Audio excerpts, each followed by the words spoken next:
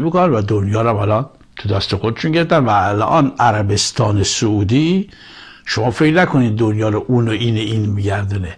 عربستان سعودی با بلاک روکی که در اختیار داره ثروت پای گذاریش و بعد هنگفتش و و و و و, و از اون کانال داره میره نقش مهمی در رهبری جهانی داره. عربستان سعودی که اسناد براتون منتشر کردم اون را باز فن آخر زمان فیلمش های بخشش بهتون نشون دادم. خود عربستان سعودی یمن اردن همه این مناطق بخشی از فلات ایران ما Récemment, des scientifiques ont trouvé des traces de cultures antiques prospères, des milliers d'années plus anciennes qu'on aurait pu l'imaginer.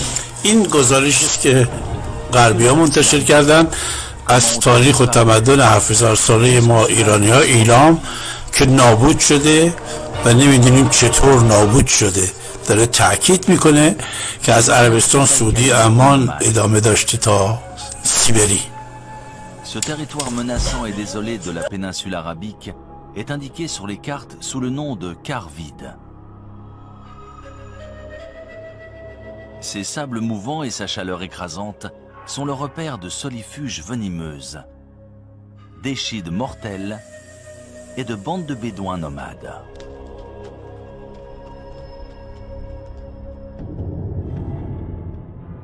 Mais si l'on en croit d'anciennes légendes, cette région était très différente.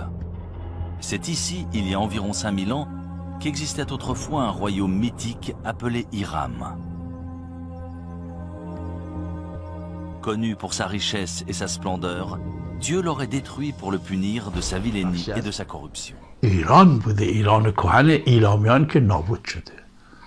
هنوزم نابودیشو می‌خوان. تا هنوزم که هنوز نرفتی قای قرآن بخونی سوره قرآنی که نابودی تو می‌خوان. آخه من چجوری می‌تونم با اینها بیام؟ بگم که آقا جنگی بود و شد حالا سلوات بفرستین دیگه. عراقی هم مثلا نگین از این بعد جنگ ایران عراق. بگین جنگ صدام با عراق با ایران. خب صدام که خودش نبود که. صدام دنیا کمکش می‌کرد پول بهش می‌داد. اینا همه ماسمالی کردنه که دشمن در خانه ما داره حکومت می‌کنه از من. اینو بایستی در حالا نکته که می‌خوام الان به اطلاعاتون برسونم اون این عزیزان من. اون اینه که ما زرنگ باید باشیم نیستیم. ذکاوت باید داشته باشیم نداریم. یه سری بچه اومدن ذهنیت های مردارن دوزی میدن. بچه. یارو نمی‌دونه ژورنالیست رو چی جور می‌نویسن. شده ژورنالیست خبرنگار روزنامه نگار هی توییت می‌زنن هی برنامه میرن هی کار می‌کنن ذهنیت می‌کنن.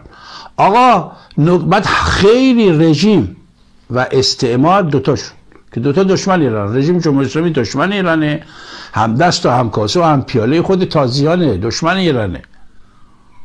آه. بر آقا این رژیم بال می‌دونید که با بارها هر بال یعنی همین جناح به عربی میگن. جناح یعنی بال. دو تا جناح که رژیم داره از بچه بگید بال بهتر می‌فهمید. این دو تا بالی که کمک می‌کنه به هواپیما پرواز کنیم اصل هواپیما عکس پرنده مغزشه سرشه سر این کیه نظام جمهوری اسلامی ولایت فقیه دو تا بالش کیه؟ اصلاح طلب ها اصولگره ها اینا از هم می‌زنن می‌کشن درگیر میشن. بازی در میارن که اون مغزه بمونه. حالا هیچ کدوم از خود رهبران جناح نیومدن مغز جناح رو بزنن. نظام اسلامی ولایت فقیه رو و رهبری رو که ولی فقیه بزنن. هیچ کدوم نیومدن نه اون موقع رفسنجین اومد بزنه. مال اون اصلاح طلباز خاطبی مال اصلاح طلباز روحانی مال اصلاح طلباز ظریف مال اصلاح طلباز. نه اونا زدن نه این وریا. رئیسی می‌خواد باشه قالیباف می‌خواد باشه سپاه پاسداران می‌خواد باشه. همه میگن رهبری آقای خامنه ای خطری در نمیاد. خب ما این نمی‌فهمیم.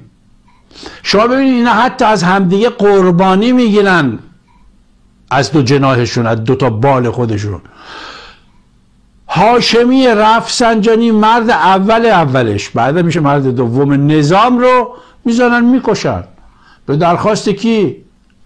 درخواست ها با سیستم روسی کشته میشه. ولی روس نمیاد مثل آمریکا بگه آقا ما زدیم ما اینیم ما نه می‌زنه. کارشو می‌کنه. چون داره پوتین برنامه ریزی می‌کنه می‌خواد اروپا رو بگیره. جنگ تموم شدنی نیست که. با این جنگی می‌خواد اروپا رو بگیره. اروپا رو می‌خواد پوتین بگیره. از قبل زمین سازی کرده.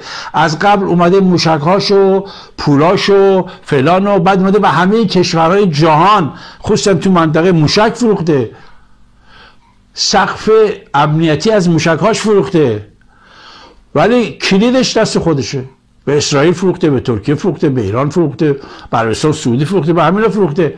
ولی کلیدش اصلیش دست خودشه. الان که داره با اوتان داره میجنگه با پیمان آتلانتیک شمالی داره میجنگه الان قضیهش فرق کنه الان یه قضیه دیگه از عزیزان من زرنگی کرده.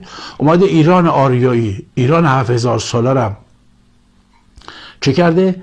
در کلید خودش گرفته از دریای کاسپیان گرفته با نظام جمهوری اسلامی هم آخوندهای به قول محمد رضا مارکسیست های اسلامی رو سرخ و سیاه هم گرفته در خدمت خودش.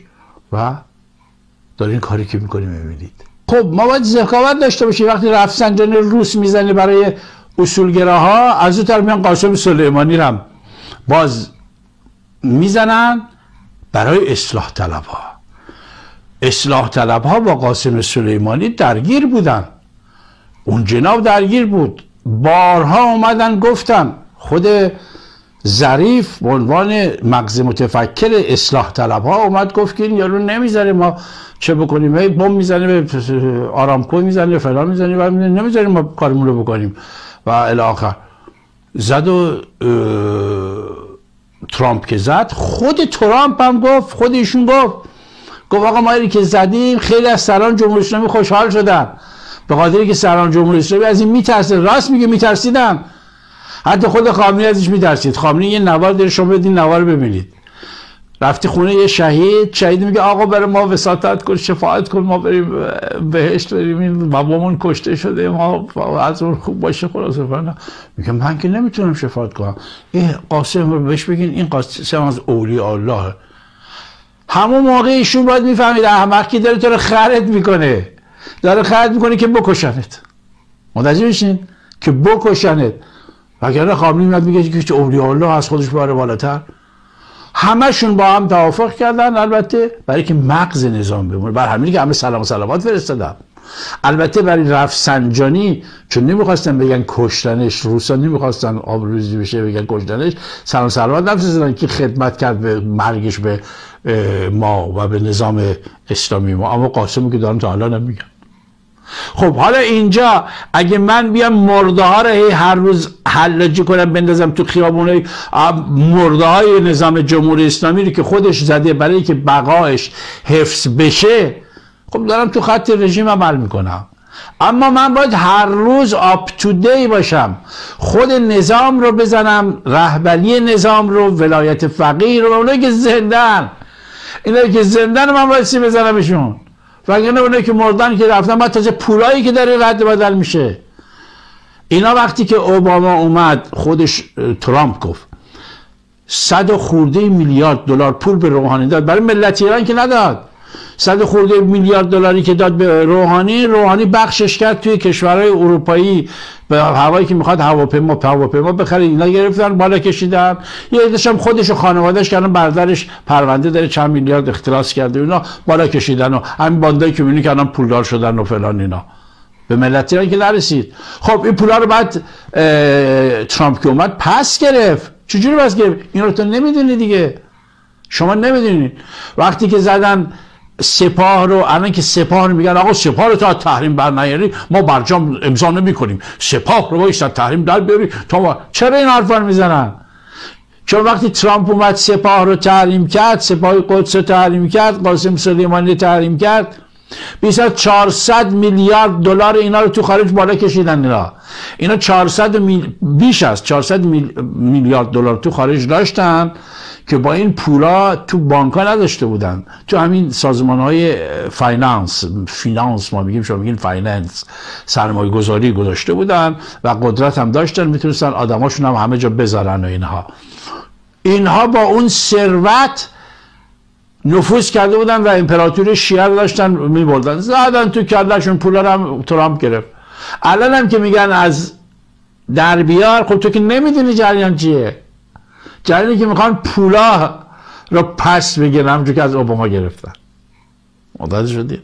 پس شما باید ذکاوت و زیرکی داشته باشید. مرده ها رو ول کن یارو مرده. جنایتکار تاریخ بوده و هست خمینی رو باید بگیم تا ابد. باندای دیگه حکومتی همشون که اومدن باید بگیم. برای شکی نیست. ولی روزانه که می‌خوای بگی آپ تو دی بایستی باشی باید خود این نظام رو و ستمی که الان داره میشه به مردم ایران و همین سیستم حکومتی از ولی فقیه گرفته تا اوضاع علمیه تا, تا هر کل باند سادات تازی و قوه مقننه قوه قضایی قوه مجری اینا باید بزنی. مرده که خود اینا زدن کشتنش بابا جان. حالا یا او جناه یا ای جناه این ذکاوت نبرد خیلی مهمه. بایستی داشته باشیم. حالا هم شنیدم که پریروز دختر شیخ علی تهرانی خانم فریده مراد